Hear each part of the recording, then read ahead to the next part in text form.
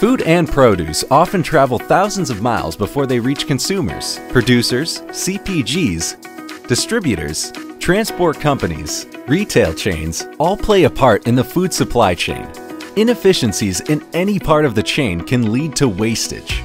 Tons of this produce is wasted every year, while making the journey from farms to consumers around the world. This is where Tech Mahindra's Farm to Fork makes a difference. It completely modernizes the food supply chain using cutting-edge technology to provide end-to-end visibility into the supply chain, from the farm to consumers. Farm to Fork uses machine-to-machine communication and data from sensors such as those monitoring the right temperature and humidity of items in transit.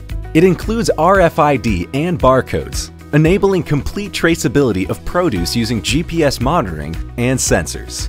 Farm to Fork has the ability to combine field data with enterprise data, with the built-in analytics engine, you can make real-time decisions. Packaging, loading, track in transit, order track, DC to stores, dashboards, and many more.